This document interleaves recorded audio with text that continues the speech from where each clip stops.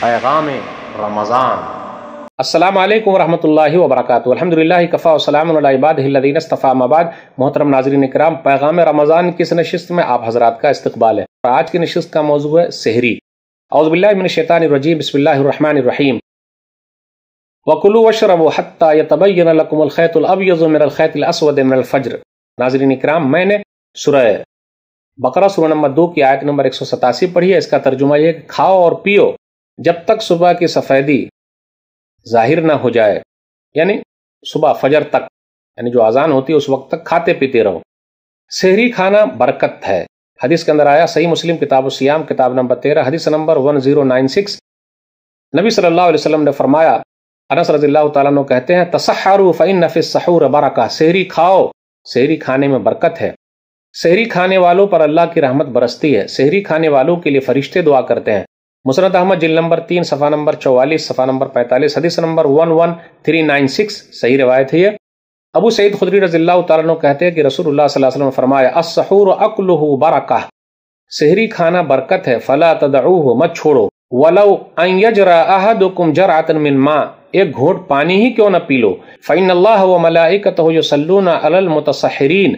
کہ اللہ تعالیٰ اور فرشتے سحری کھانے والوں پر رحمت کی دعا کرتے ہیں۔ یعنی اللہ رحمت کو قبول کرتا ہے اور فرشتے دعا کرتے ہیں۔ اہل کتاب سحری نہیں کھاتے ہیں۔ یہود و نصارہ سحری نہیں کھاتے۔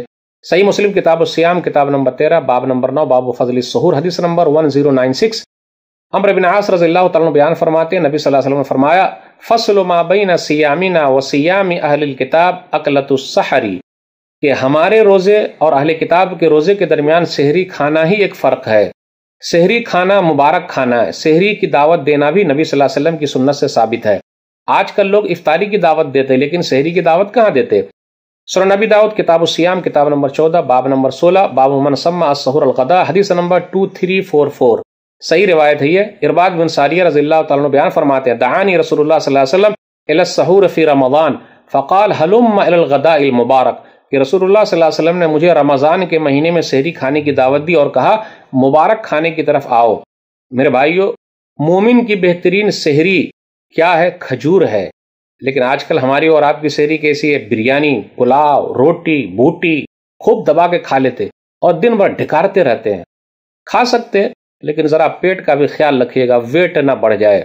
سرنابی داؤد، کتاب السیام کتاب نمبر چودہ، باب نمبر سولہ، حدیث number two three four five ابو رضی اللہ تعالیٰ بیان فرماتے ہیں، نبی صلی اللہ علیہ وسلم فرمایا، نعم سہور المؤمن التمر۔ مومن کی بہترین سحری کھجور ہے۔ سحری جلدی بھی کھا سکتے ہیں، لیکن اتنی بھی جلدی نہ ہو کہ آدھی رات ہی میں کھا لیں۔ فجر کی اذان اور سحری کے درمیان پچاس آیتیں پڑھنے کا فرق ہو۔ صحیح بخاری کتاب السوم کتاب نمبر تیس، باب نمبر اٹھارہ، باب و تاجیل السحور، حدیث نمبر انیس بیس ون نائن ٹو زیرو ساحل بن سعد رضی اللہ تعالیٰ کہتے کن تو اتصحر فی اہلی ثم تکون سرعتی ان ادرک السحور مع رسول اللہ صلی اللہ علیہ وسلم۔ میں اپنے گھر پہ جلدی سے سحری کھاتا، پھر جلدی جلدی نبی صلی اللہ علیہ وسلم کے پاس چلا جاتا تاکہ میں آپ کے ساتھ سحری کھانے میں شریک ہو جاؤں۔ صحیح بخاری کتاب السوم کتاب نمبر تیس، باب نمبر انیس، حدیث number one nine two one زید بن ثابت رضی اللہ تعالیٰ عنہ کہتے ہیں تصحر نامان نبی صلی اللہ علیہ وسلم ثم مقام الصلاح کہ میں نے نبی صلی اللہ علیہ وسلم کے ساتھ سحری کھائی اور فجر کی نماز کے لیے اٹھا۔ تو کہا گیا، کتنا؟ کم کا نہ بین الازان و سہور اذان اور سحری کے درمیان۔ اذان مطلب فجر کی اذان۔ سحری کے درمیان کتنا فرق ہے؟ تو کہا قدر خمسین آیا پچاس آیت پڑھنے کا فرق ہے۔ سحری لیٹ بھی کھا سکتے ہیں، لیکن اتنی لیٹ نہ ہو کہ اذان ہی ختم ہو جائے۔ اذان کے بعد کھائیں جی نہیں، اس کا ثبوت نہیں ملتا ہے۔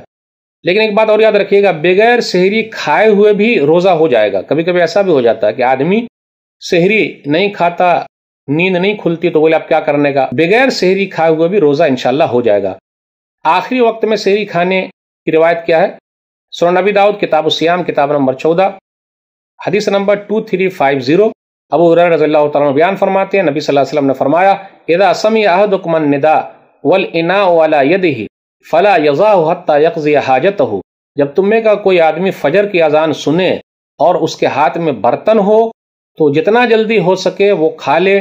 اپنی ضرورت پوری کر لے تو آزان ختم ہونے سے پہلے پہلے تک جو بھی ہاتھ میں ہے اس کو ہم اور آپ کھا لیں، اس کو نہ چھوڑیں۔ یہ چند باتیں تھی شہری کے تعلق سے، اس کا اہتمام کیجیے اللہ ہم سب کو توفیق دامین والسلام علیکم ورحمۃ اللہ وبرکاتہ۔